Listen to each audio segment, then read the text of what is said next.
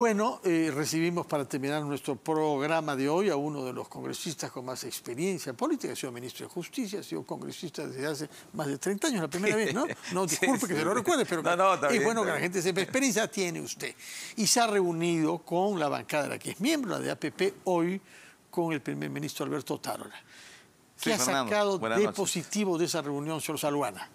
Bueno, primero que hemos sido eh, siete parlamentarios de Alianza para el Progreso, respondiendo a una gentil invitación del Premier. Nos ha hecho conocer los puntos de vista de manera genérica sobre la propuesta que él va a llevar al Congreso de la República, una propuesta de, gestión, de reactivación económica, de generación de empleo, de transferencia de recursos, de ministros comprometidos con las provincias, con el interior del país. Me parece una, una, una vocación de armar un shock económico a través de lo que le llaman Punche Perú. Entonces nosotros como provincianos nos, alegra, nos parece bien. Hay que mover los resortes del Estado que han estado un poquito, digamos, este, distraídos en otros temas de menor importancia. ¿no? Y hay que poner a trabajar básicamente a través de funcionarios competentes. Le hemos dicho, por ejemplo, que hay ministerios claves que manejan importantes recursos y que tiene que ver con proyectos eh, de obras públicas en las provincias, ¿no? Transportes y comunicaciones a través de Provías, por ejemplo, maneja puentes, caminos, carreteras, ¿no? Eh, vivienda, agua, saneamiento, canales de evacuación de aguas pluviales, techo propio, etcétera. O sea, recursos están. Necesitamos un Estado que funcione, que camine. ¿Y cómo? ¿Cómo? ¿Cómo? ¿Qué tipo de organización debe adoptar ese Estado? ¿Qué tipo de institucionalidad para integrar estos problemas? Porque son multisectoriales. Así es. Primero, eh, estabilidad. Estabilidad en el aparato público. No podemos estar ya cambiando cada 30 días o cada 15 días viceministro, directores. Yo le explicaba y le contaba al premier Otárola que en el caso de Provías descentralizado, por ejemplo, que tiene que ver mucho con caminos y puentes en, los gobiernos regionales y en municipios, ha habido en estos 17 meses de, la gestión del, del expresidente Castillo 14 o 15 directores, o sea, uno cada 30 días. Entonces, ¿cómo se pueden desplegar Creíamos que el récord era en otros ministerios, pero lo que nos dice usted es como para que no se haga nada. Así es, así es. Y en otros no había viceministro, o en otros no se utilizaban los recursos, utilizaban mal, o también, como en el caso de las vacunas, este, estas este, bivalentes, Estaban ahí y nadie estaban Estaban ahí y he escuchado ahí a la colega Portalatino pretendiendo dar una argumentación pues que no corresponde, ¿no? Esa gestión debió informarle al país que habían las vacunas y que había que utilizarlas, ¿no? De esa manera se ha manejado el Estado y le hemos pedido ahora al Premier, evidentemente, que haya eficacia, que haya coordinación con los gobiernos regionales y gobiernos locales que acaban de entrar con total legitimidad. Pero y con ¿qué el modalidad propone usted para que todos estos proyectos diferentes, esas iniciativas diferentes puedan cristalizarse y ser operativos? Eh, un proyecto de inversión pública, según Invierte P, tiene varias etapas. Entonces necesita en cada una de ellas tener primero funcionarios competentes. Cada ministerio ya tiene sus carteras. O sea, el MTC tiene, por ejemplo, los puentes que se tienen que construir el año 2023. Los puentes que tienen que hacerse sus expedientes técnicos. En el caso de Madrid, por ejemplo, tengo un puente importante que se llama el Puente Carlos. Va a ser el puente más grande del país, más grande inclusive que el puente Billingham que está sobre el río Madre de Dios. Pero no por el rey puente Carlos. de Inglaterra, ¿no? No, no. ¿no? es, en todo caso su tocayo, ¿no? Es un puente que uniría a Tambopata con la provincia del Manu, sacaría del ah. aislamiento a toda una provincia con 1.200 metros. hacia el Cusco. Hacia, no, la provincia del Manu es Madre de Dios. Evitaría que nos demos la vuelta justamente a lo que tú dices, porque ahora para ir al Manu necesitamos ir por Paucartam, en una ruta de más o menos 16 horas, una carretera que está en pésimas condiciones. Ahora lo haríamos por ese puente y ya hay carretera que está viniendo de salvación hasta la comunidad. ¿Plata hay para financiar estas obras? exacto. Este año, por ejemplo, se le ha puesto a ese proyecto más o menos 1.800.000 soles para terminar ya el expediente técnico. Si se acaba en el plazo que corresponde, quizás ese puente, como otros a nivel nacional, si hay funcionarios competentes, y se cumplen los contratos, podríamos estar ejecutando en el año 2024. Pero lo que usted está proponiendo hace recordar un poco al modelo que se adoptó en el norte, especialmente después del niño costero. Crear una agencia específica que contratara bajo modalidad de gobierno a gobierno y que reuniera, con algunas garantías de lucha contra la corrupción más serias, eh, las obras múltiples, eran cientos de obras, para las 13 eh, regiones que, vieron, que se vieron afectadas por el niño. ¿Es algo de ese tipo lo que está preparando usted para el sur andino? Eh, específicamente, sí. Me, sur andino y selvático, porque me, usted... Me adelantaste, exacto, Madre de Dios. Eh, esto a raíz de esta propuesta de algunos ciudadanos y sectores del sur del Perú de armar una suerte de república independiente. Yo obviamente no... Hemos, hemos, escuchado... Sí, lo he escuchado al, colega Martínez. A, un colega arequipeña que estaba muy disgustado con un paisano del Felipe Domínguez. Obviamente yo no, no comparto esa posición, pero como ciudadano del sur trato de entender y obviamente conozco, he estado en Arequipa, Cusco, Puno y, puedo hablar un poquito entendiendo a mis paisanos del sur. ¿Qué es lo que entiende de su descontento? Yo lo que creo es que en realidad hay una, hay una sensación de marginación, de discriminación, que el Estado no hace obra pública, que no se invierte, que no se solucionan los problemas y que hay una suerte de marginación histórica, ¿no? Por eso ellos siempre hablan de los temas de la historia, de la colonia, ¿no? El, pongaje, el, el, vasallaje que se vivió en el tiempo de los latifundios. Todo eso son remanentes históricos que afloran en un momento de conflicto. Entonces, pero lo concreto es que el sur en realidad no ha recibido la atención en obra pública, en presupuestos que todos hubiésemos querido. Entonces yo le he planteado en la mañana de manera directa al Premier que hagamos una suerte de un símil de lo que se ha hecho en el norte no habla de reconstrucción con cambios, sino de una inversión pública directa a través de una entidad autónoma, una suerte de plan Marshall en el sur que permita utilizar, el plan Marshall que permitió que se reconstruyese en Europa después de la, Segunda Guerra Mundial. Europa quedó en escombros, ¿no? Alemania ha destruido el aparato industrial, pues arrasado, y mira lo que es ahora. permitió que en muy poco tiempo puedan recuperarse esos países. Así es, así es, ¿no? Entonces podamos invertir para cerrar brechas básicamente en educación, salud, vialidad, promover las actividades productivas, que es un sector agrario muy fuerte en el sur del Perú, pero brindarle las atenciones. ¿Y cómo reaccionó el primer ministro Tarola cuando usted habló de una agencia que centralizara la inversión del Estado y me imagino que el uso del canon también, ¿no? Porque ese es otro problema que hay mucho ahí. E, efectivamente, cuando uno revisa los recursos presupuestarios y de inversión pública en el sur del Perú se encuentra con serios problemas de capacidad de gasto, como en general es en los gobiernos regionales, municipales y también en el gobierno nacional. Hay que recordar, mira, que, en todo el, el aparato estatal, el 2022 que ya terminó, no hemos invertido 23 mil millones de soles.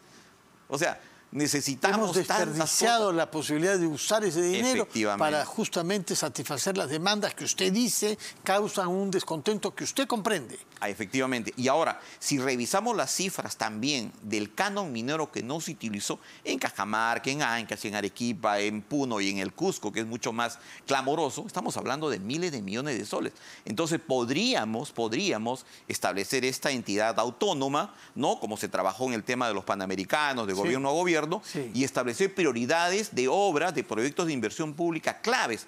El Hospital Lorena está 10 años sin poder concluir. Lorena es el símbolo. Ahora, eh, eh, sin embargo, hay un punto, hay un descontento, dice, entre nuestros compatriotas del sur en general por la falta de obra pública, pero Lorena prueba también que hay una complicidad de las autoridades regionales. No se puede echar todo, todo bajo la responsabilidad del gobierno central.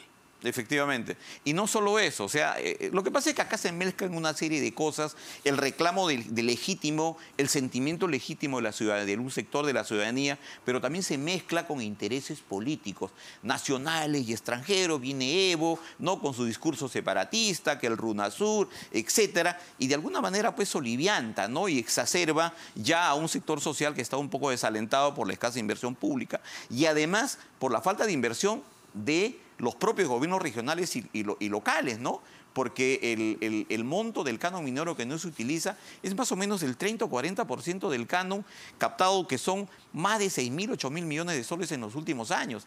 Entonces, recursos hay no hemos tenido la capacidad de utilizarlos. Y lo peor es que ahora en este escenario de confrontación con el Congreso se le atribuye la culpa al Congreso como que el Congreso hubiese obstruido para la ejecución de esas obras públicas, que evidentemente no es, no es, no es lo correcto. ¿no? Entonces yo le he planteado eso, el Premier lo ha recibido de buen agrado, yo le he planteado, por ejemplo, en el caso de, Madre de Dios, tenemos el Hospital San Martín de Iberia. Cuatro hospitales, Hay dos que son claves, el de Iberia con 105 millones, que le he propuesto que en el siguiente crédito suplementario se le dé una, una partida inicial de 30 millones de soles. El Petar Tambopata, que es un proyecto de tratamiento de aguas residuales con 250 millones, que lo tiene manejando por inversión hace varios años, que lo anunció el Premier Bellido, lo anunció la Premier Mirta Vázquez y hasta ahora no se inicia la ejecución. Esos proyectos la gente sabe que existen, saben que deben ejecutarse, dicen, pero ¿qué sucede? Pasan los años, los problemas se acrecientan y obviamente no se ejecutan las obras pese a que hay los recursos. Entonces eso genera desaliento y los mensajes a veces radicales, ¿no? de, de, de, de reclamo a veces hasta violento, prenden esos sectores sociales, pero creo que hay que dar una respuesta eh, democrática, técnicamente viable y obviamente trabajando conjuntamente Congreso, gobiernos regionales, locales y el Poder Ejecutivo. O sea, si he comprendido bien su imagen de la realidad en el sur del Perú hoy, es que hay un descontento profundo ante la percepción de que no hay obras públicas, de que no ha llegado el dinero, aunque estaba destinado tanto del presupuesto central como del canon. A esto se añade un resentimiento histórico, nos dice usted, que usted lo comprende y lo siente allá.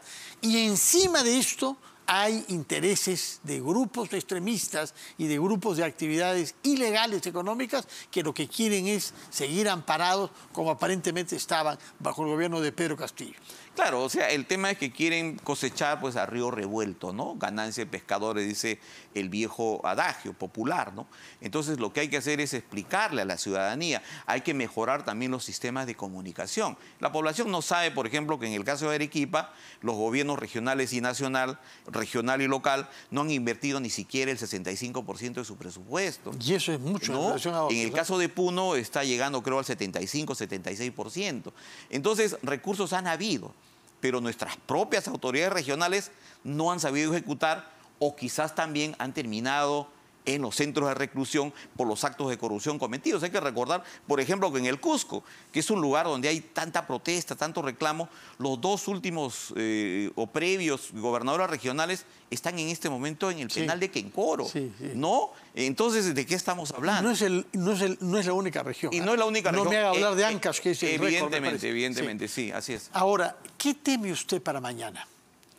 No, yo, verdad que yo pienso, percibo que la ciudadanía está entendiendo de que ya hay un cronograma político, que hay una crisis y que esa crisis ha sido eh, resuelta dentro de los espacios democráticos y las instituciones establecidas en la Carta Política han actuado como corresponde. ¿Qué pedía la ciudadanía? Adelanto elecciones, ya tenemos adelanto elecciones, eh, acortamiento del plazo de los, congresistas y de la presidenta, perfecto, los congresistas ya no van a estar los cinco años para el cual fueron elegidos, vamos a estar tres, entonces ya hay un cronograma de salida a la crisis política y explicarle a la ciudadanía, este, Fernando, que no se puede hacer elecciones como algunos sectores plantean de manera irresponsable en el propio Congreso. No, elecciones mañana, en abril, en mayo, y te dan meses subjetivamente según su criterio particular para la tribuna.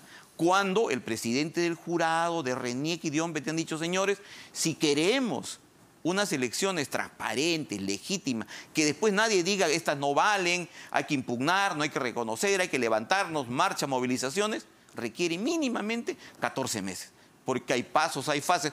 Eso hay que explicarle a la ciudadanía. Hay que cambiar nuestra nuestro modo de representación. Siempre se cita el ejemplo de Madre de Dios, Sí. porque usted es el único congresista que hay de Madre de Dios. Sí. Y entonces se propone ir, por ejemplo, a un Senado, como propone Fernando Tuesta, con miembros, dos para cada región, independientemente de la población que tenga, lo cual beneficiaría naturalmente a Madre de Dios en relación a, los, a las regiones con más población. ¿Estaría de acuerdo con una fórmula de ese tipo? Sí, mira, en 1956, Madre Dios, que es el ejemplo, yo lo escuché al, al señor Tuesta dando el ejemplo, sí. en 1956 Madre Dios tenía un senador y tenía dos diputados.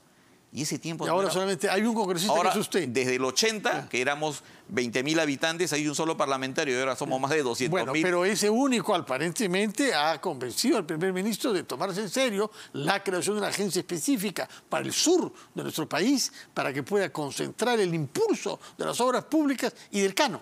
Sí, yo lo, lo- lo- lo noto al Premier una persona bastante receptiva, tiene una, una características Bueno. políticas importantes, sabe escuchar y obviamente valora que vamos y le decimos con sinceridad, con Bueno, honestidad.